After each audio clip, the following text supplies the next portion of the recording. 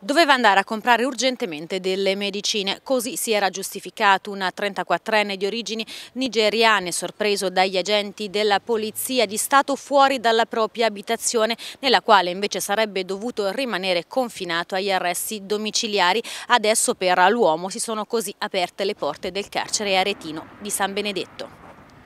L'uomo, con una lunga lista di precedenti alle spalle per spaccio di sostanze stupefacenti, è stato catturato ieri dagli agenti di polizia in pieno centro storico aretino nel quartiere di Porta Crucifera. Nei suoi confronti è stata infatti eseguita un'ordinanza di custodia cautelare in carcere emessa dalla Corte d'Appello di Firenze, una misura che si è resa necessaria dopo che lo scorso martedì il 34enne era evaso dai domiciliari ed era stato colto in flagranza dagli agenti della squadra volante distante a diversi chilometri dalla propria abitazione nel centro aretino, nonostante l'obbligo di permanenza in casa dove invece aveva lasciato i due figli entrambi minorenni. Il pusher era stato così bloccato in viale Mecenate dopo un breve inseguimento. Il questore di Arezzo aveva chiesto l'aggravamento della misura cautelare, adesso il pluripregiudicato attenderà l'esito dei processi a suo carico, tutti per spaccio anche di rilevante entità nella casa circondariale di Arezzo.